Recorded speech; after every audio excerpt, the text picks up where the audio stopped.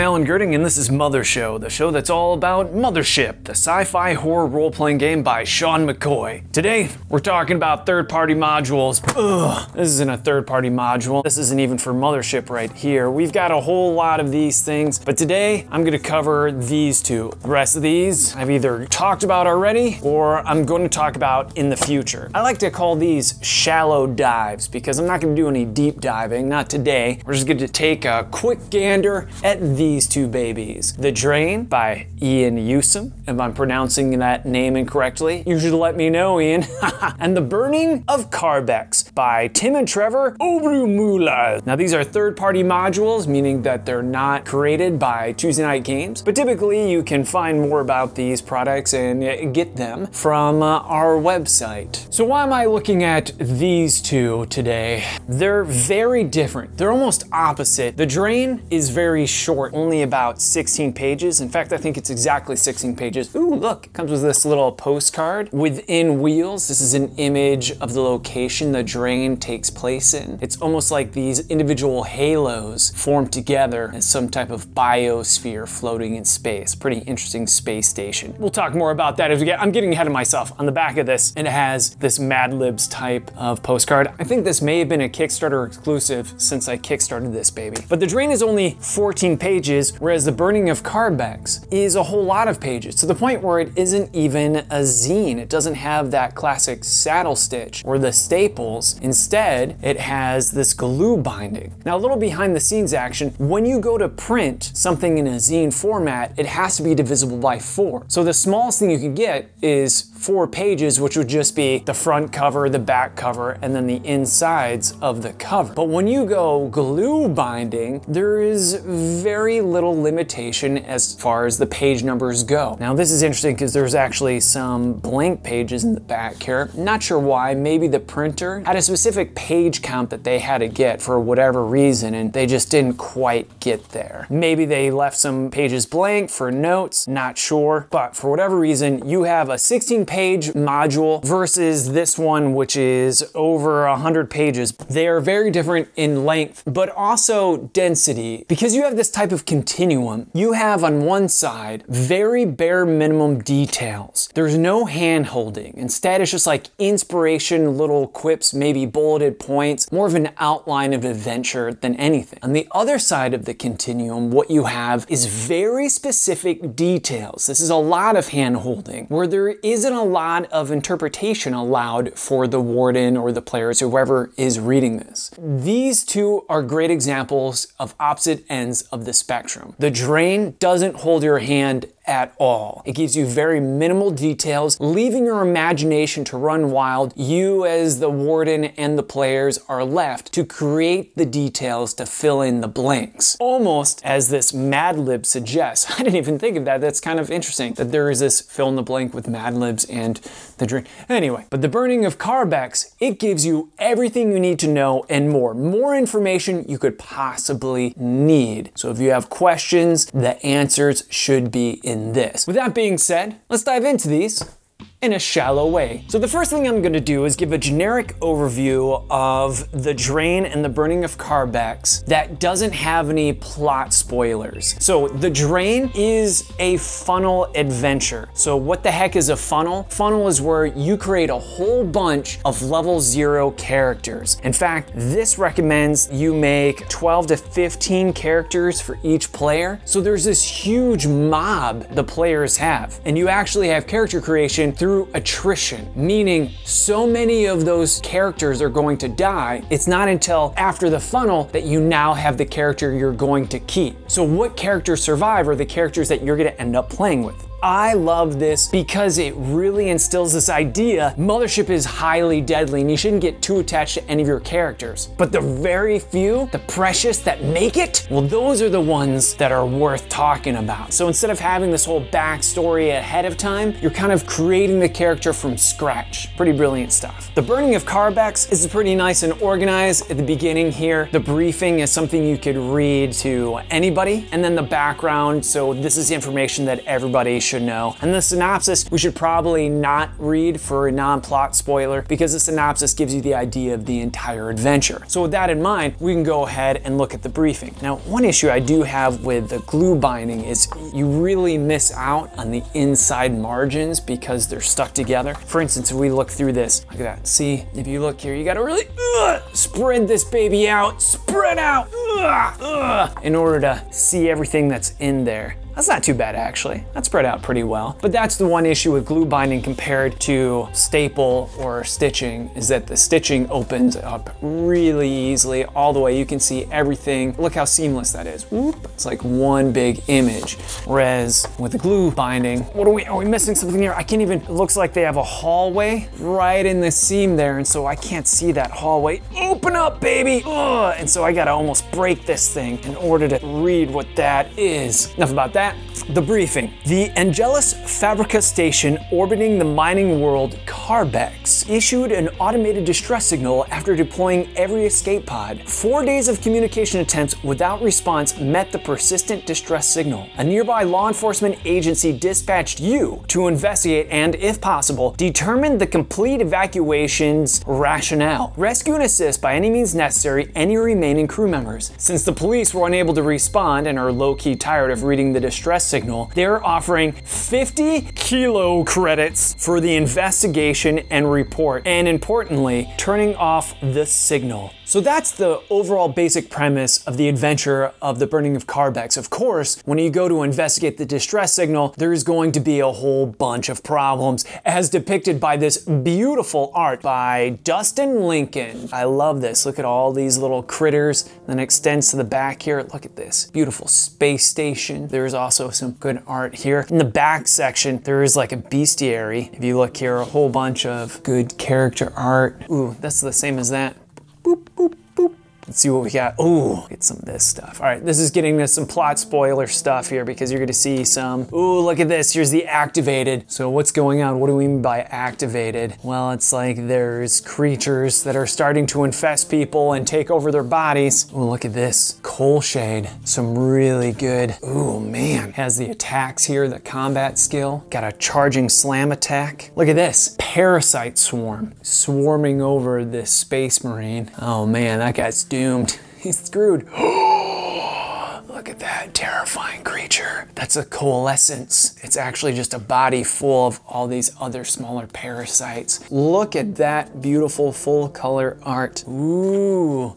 Art here is done by my business partner, Sean McCoy. You're gonna notice the classic Sean McCoy look to the art here. I love me some Sean McCoy art. He didn't do this. This isn't Sean McCoy. I don't know who did this. This is very gorgeous as well. This looks very Dungeon Crawl classic-y. This is the map. These are the actual rings, the different halos that go down, down, down to the inside, and they're divided into different sections. You can kind of see that says 1A, 4A, so the outer ring is A, the inner ring is B, C, and then finally the center is D.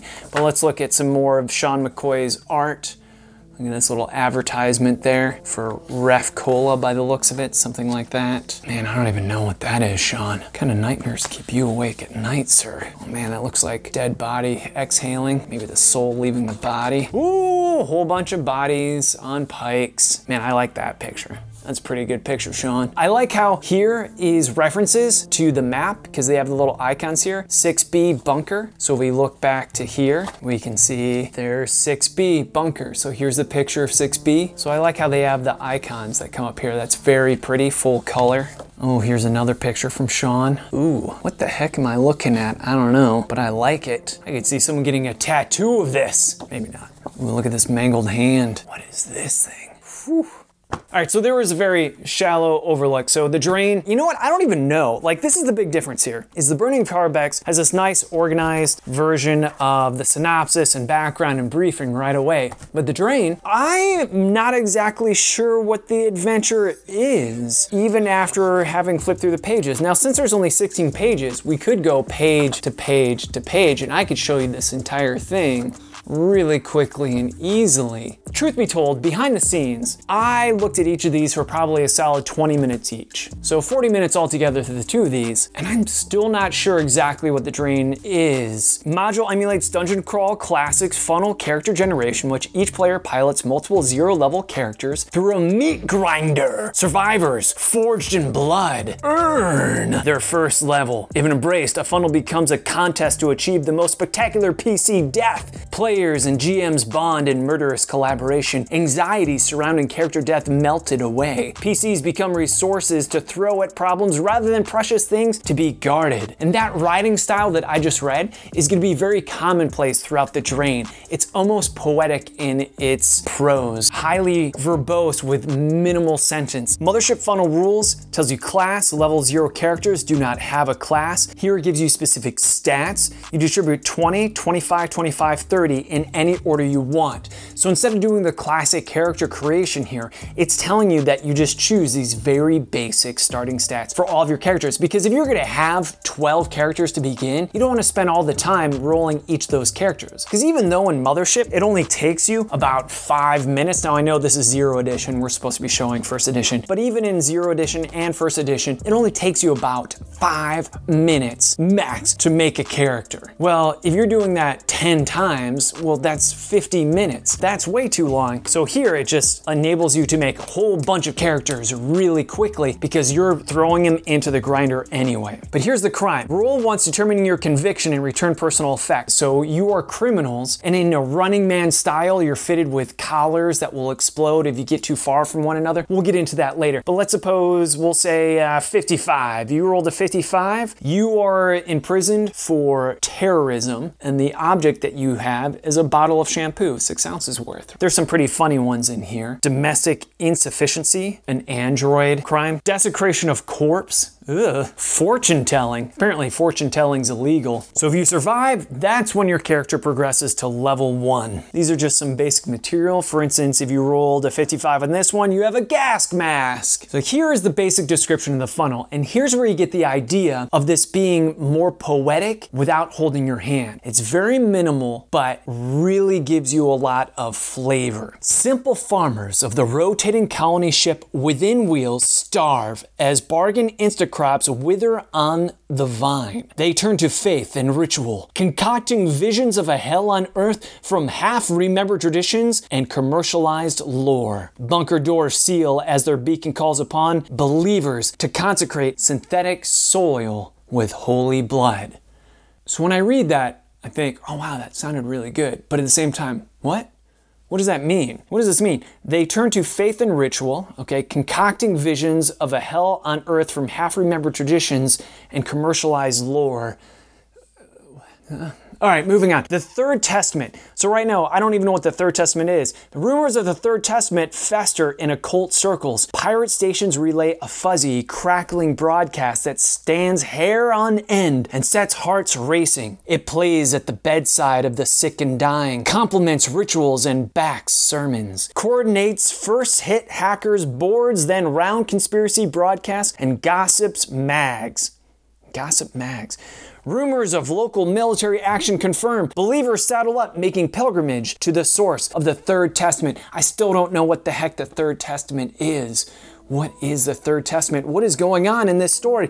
What, what's going on inside the Wheel is the name of this colony ship. I, I, got that. A massive space battle rages around the Wheel, the full force of corporate might brought to bear, smashing through the debris field. The Preco penal transport ship Charity takes heavy fire while landing at a docking bay on within Wheel's outer conical rim. Here we have kind of the start of our story. For some reason, there's a battle going on around the outside of the within Wheels. You and your entire entourage barrage of characters have crash landed on the outer rim of the within wheels. So situation inside the wheel. Prison soldiers, that's us, and civilian pilgrims spill in spasmodic bursts from the hangar bay doors into the carnage of a battle in stalemate. Countless independent interests scramble over dead fields and abandoned structures to reach the command center, page 10, and locate the Third Testament transmission's origin, Isolated groups grind each other to pulp in their frenzy to claim the holy prize and prevent others from doing so. Horrors lurking outside command mop up any scraps filtering through.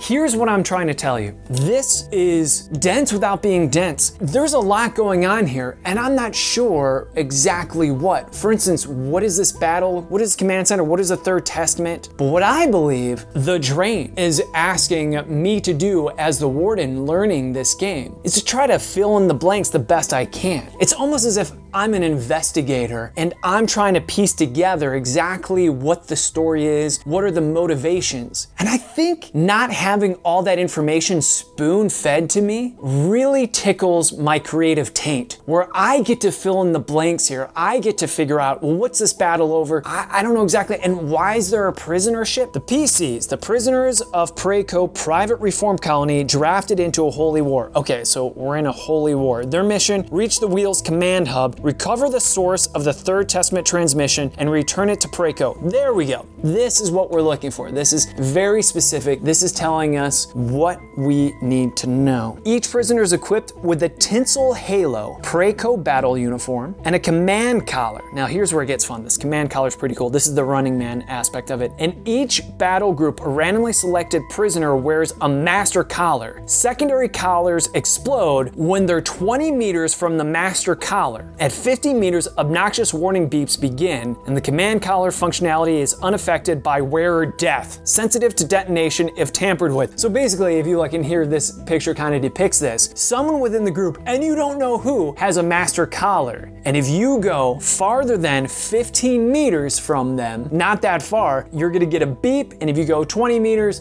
you're gonna blow up. If you're playing with four players and each of them have 10 characters they've created, that's 40 individuals, and they're all gonna be huddled together so tightly as they go through this because they don't want their heads to explode. If you look here, going 20 meters, it explodes. 15 to 20 meters, it beeps, beep, beep, beep, beep, beep. And it says it's not sensitive to death, which means if so, whoever is wearing the master collar, if they die, you gotta drag their corpse or their collar with them. Man, that's brutal. And that is the premise of the drain. It's just pure, brutal meat grinder. I still don't know what the third testament is. I don't know what the transmission is or exactly what Preco's deal is or what this holy war is, etc. Within Wheels, aka the wheel, this is the station that you're on this little map here. This is the wheel or within wheels. The wheel, bottom of the line, conical rotating habitat decimated by cut costs, a hairbreadth from floating scrap. Barren artificial farmland, cheap synthetic dirt, little more than dust, hosts dead orchards, rotten crops, bioengineered livestock feeding on unwilling martyrs. Synthetic soil infused with programmable metamaterial can be reconfigured in almost any shape.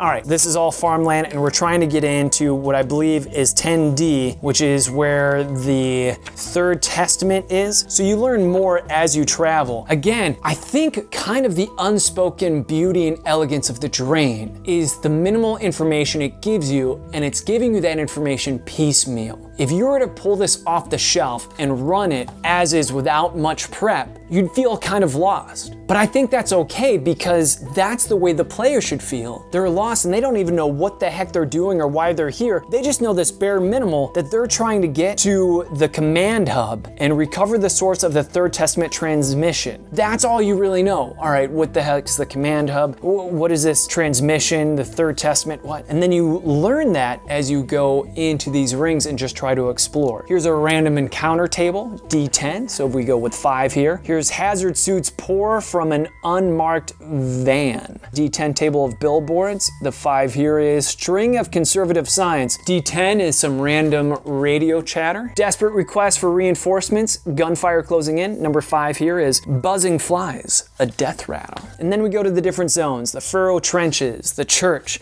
the shackled dropship, the orchard, the collapsed silo, the bunker, the synthetic run, the barn, the amusement park, the crash sleeve. Here's some crash sleeve encounters. Here's the command center, and this is the main goal, the command center and the hub. And then here's pages of enemies, and there is, at the back, some tables. D100, 10 minutes searching with successful scavenging check or looted from a corpse. And here's a D10 table of equipment caches, and then here's more credits. So that's a very shallow look at the drain. Going into the burning of Carbex, let's read the synopsis. When the station activated a mysterious natural cave's charcoal, it also released something else, which spread throughout the station, mutating the crew and leaving them ravenous. These new life forms are driven to ingest carbon by breathing or eating. They prefer plants, but consumed all the station's accessible plant matter. So here's a timeline broken down. So if you just quickly look at this and you wanna know what happens throughout this adventure, tells you exactly how you win the burning of Carbex. And then here's if you do nothing. You can already see the difference between the drain and the burning of Carbex. Here, lots of questions, a lot of fill in the blank, Mad Lib style. Here, you're giving me everything I could possibly need to know right away in the beginning so I go in with all the knowledge necessary. This is the total outline of everything you need to know before we get into the details. Here, you don't get the details until you're right there in the midst of it. I love how it has this if you do nothing. Again, this is really important, always crucial to have a timing mechanism. If our party members just sit around drinking tea, chatting away their lives, are there gonna be consequences? The answer should always be yes. There should always be something prodding your players from going on and on and on. I love it. The Angelus Fabrica Station. And then from this point on, it's probably just going to be nothing but each of these different rooms. And sure enough, tells you what areas you can land on. So if this is the official docking, you would want this to be the first place they describe. Since the ship is docking here, we need to know the docks. And sure enough, tells you right here. This tells you about exosuit, kind of like the mechanical lifters from Aliens. Corridor one, corridor two, these are the areas that correspond to the map we were looking at. Warehouse, what happens here, corridor four. And then here comes some of this beautiful art interdispersed here. Hannah Harpoon gives you some of the characters, some interesting details about her. She's always felt at home. She also has this hair that can change colors. More details than you need to know. Hannah also has a maintenance key. They put in bold here the key items as if it was a parser-based adventure game, so it's letting you know what you're supposed to be looking at. Now, when it comes to graphic organization, this is almost bare bones minimal in that it's just written word. You do get the occasional black box or characters. Tells you what's contained in here. Instead of like rolling on a random table, it tells you very specifically what artifacts are in what location. And that's act one. And then here comes act two, the next steps. Based upon what the players did, this is what goes on. It's almost like a flow chart, if you will. Here's a little glitch. I hate to point this out. This looks like some graphic design error because jump drop chamber, deck one car gets cut off here. Like they use JPEGs instead of PNGs with transparency. Yeah, I don't know who did the graphic design or the layout. Here's the stats for the ship.